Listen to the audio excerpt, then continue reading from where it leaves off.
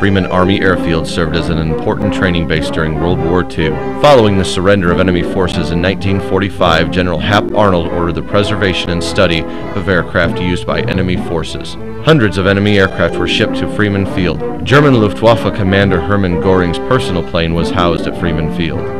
The Foreign Aircraft Evaluation Program was later closed, and several aircraft, including Göring's, which was rumored to have been designed to distribute a Nazi super soldier gas, were stored away in Hangar 17. This gas was highly experimental and rumored to have created mutant soldiers.